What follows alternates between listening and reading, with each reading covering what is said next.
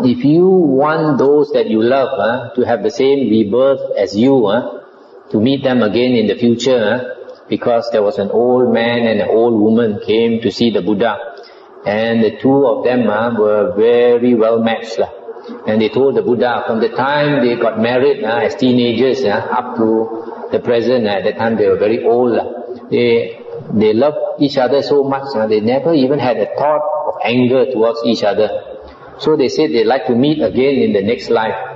And they asked the Buddha whether it's possible. The Buddha said if two persons, uh, if people have the four things in common, uh, they can meet again.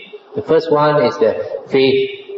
Uh, faith, that means you have the same religious beliefs and all that. Uh. The second one is morality. That means you, your morals are just as good or just as bad. Uh, your precepts.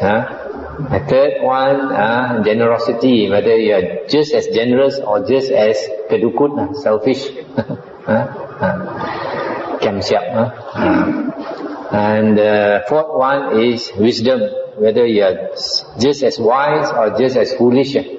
Uh, so these four things are the same, uh, you'll meet again. Uh.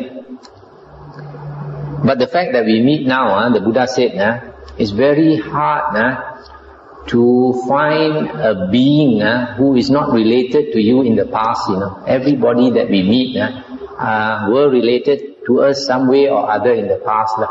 Uh, we might have been father and uh, father and children or mother and children or something. Uh, because you think about it, uh, in this world, uh, so many billions of people, uh, but the number of people we actually meet, uh, which actually come to know, uh, not many, you know. Right?